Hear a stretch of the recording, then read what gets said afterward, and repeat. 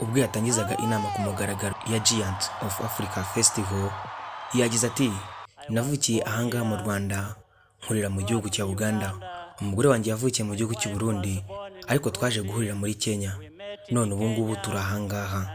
Bivuga ko nyine bari ahangaha mu Rwanda. Afurika ni abo ngabo turi bo. Turi abavandimwe ndetse tumeze nk'aho turi umuryango. Uwo ni nyakubahwa perezida wa repubulika y'u Rwanda Paul Kagame. Iryo ni ijambo yavuze ejo ku cyumweru tariki cumi n'eshatu z'ukwezi kwa munani mu mwaka w'ibihumbi bibiri na makumyabiri na gatatu. Ni mu gihe yatangizaga inama ya Giants of Africa Festival.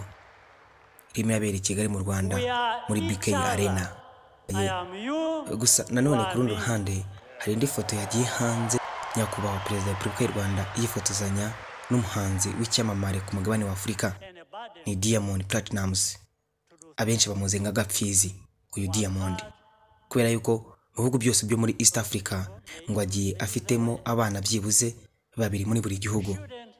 Nubwo kugeza amagingo aya ngaya nta makuru arajya hanze avuga ko mm, uyu muhanzi w'icyamamare Diamond yaba afite umwana mu gihugu cy'u Rwanda. Ngo ariko ibindi bihugu byose bisigaye ngo agiye afitemo umwana ni Diamond aka Gapfizi.